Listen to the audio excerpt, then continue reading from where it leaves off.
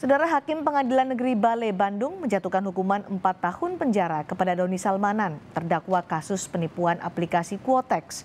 Doni Salmanan juga tidak diwajibkan membayar ganti rugi kepada para korban.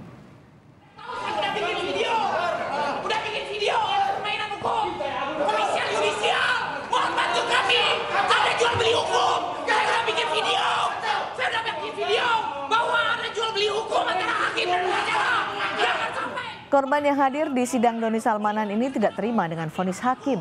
Doni divonis 4 tahun penjara dengan denda 1 miliar rupiah. Vonis ini lebih ringan dari tuntutan jaksa penuntut umum, yakni 13 tahun penjara dan denda 10 miliar rupiah. Selain putusan yang lebih ringan, sebagian aset yang disita dikembalikan kepada Doni Salmanan, sementara sebagian aset lainnya disita negara. Para korban yang tidak terima berencana akan melakukan banding. Bapaknya Hakim Agung, semua keadilan hancur. Dari ya. Silakan terdakwa Doni Muhammad Kopi alias Doni Salmanan tidak terbukti salah sah dan meyakinkan bersalah melakukan tindak pidana sebagaimana dalam dakwaan penuntut umum.